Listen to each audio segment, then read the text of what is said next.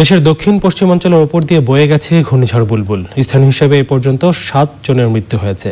ঝড়ের পানিতে প্লাবিত হয়েছে নির্মাঞ্চল ঘরবাড়ি বিধ্বস্ত উপড়ে গেছে গাছপালা। ক্ষতিগ্রস্ত হয়েছে উঠতি আমন ফসল। ভেসে গেছে মাছের ঘের। প্রতিনিধিদের পাঠানো তথ্য ভিডিওচিত্রে রাজীব আহমেদের রিপোর্ট। মাঝরাতের পর বুলবুল আঘাত হানে খুলনা, সাতক্ষীরা ও বাগেরহাট অঞ্চলে। সুন্দরবন সংলগ্ন নিম্নাঞ্চলে তিন ফুট পর্যন্ত প্লাবিত হয়ে মাছের ঘের, ফসলি জমি ও সবজি ক্ষেতের ব্যাপক ক্ষতি হয়েছে।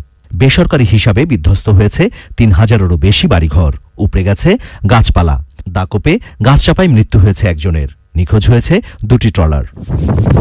সাতক্ষীরায় ভোর পাঁচটা থেকে ছটার মধ্যে আঘাত হানে বুলবুল। সে সময় বাতাসের গতিবেগ ছিল ঘন্টায় একাশি কিলোমিটার। প্রবল বাতাসে আতঙ্কে মৃত্যু হয়েছে এক বৃদ্ধের এদিকে সব এদিকে সব মোবাইল এদিকে সব মোবাইল এদিকে সব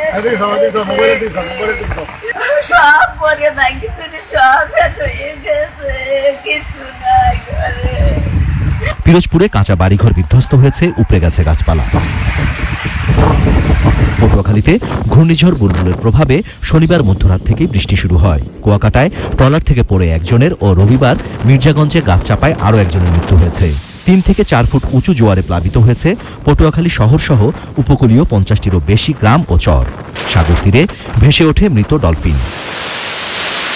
বাগেরহাটে সকাল নটার পর প্রবল বৃষ্টি শুরু হয়। এতে বেশ কিছু কাঁচা বাড়িঘর বিধ্বস্ত হয়। উপড়ে যায় গাছপালা। রামপালে গাছ চাপায় একজনের মৃত্যু হয়েছে।